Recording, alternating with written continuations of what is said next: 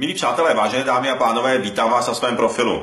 Jsem hluboce znepokojen prováděním jaderných testů Severní Koreou.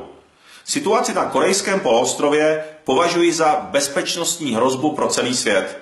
Provádění testů s nukleárními zbraněmi má za důsledek neustále se stupňující napětí na korejském poloostrově s bezprecedentním ohrožením okolních států bez ohledu na platné rezoluce Rady bezpečnosti OSN.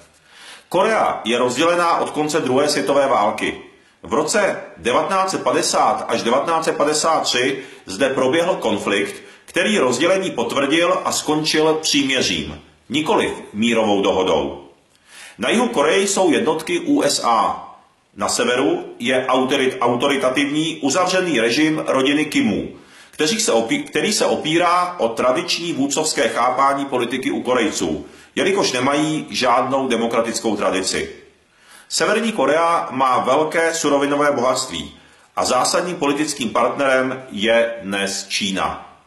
Severní Korea realizuje jaderný a raketový program, neboť to vyhodnotila jako jedinou možnost k odvrácení útoku USA.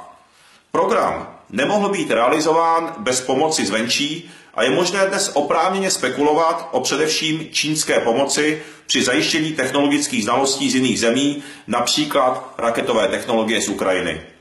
Díky této pomoci je KLDR, tedy Severní Korea, dnes fakticky jaderná mocnost s jaderným, s raketovým arzenálem s dosahem minimálně 6000 kilometrů. Na korejském polostrově probíhá dlouhodobá spirála zbrojení a vojenského napětí. Naše hnutí Svoboda přímá demokracie SPD upřednostňuje mírová a diplomatická řešení. Jejichž iniciátory by měly být světové jaderné velmoci. Podle mého názoru existuje jediné řešení a tím je jednání mezi Jižní a Severní Koreou pod patronací OSN, odchod, odchod sil USA z oblasti a ukončení raketového a jaderného programu KLDR. Co si o tomto tématu myslíte vy? Napište mi do komentářů. A jestli se mnou souhlasíte, prosím, sdílejte všem vašim přátelům, aby se dozvěděli informace, které nezaznívají v českých zmanipulovaných a prohladných médiích.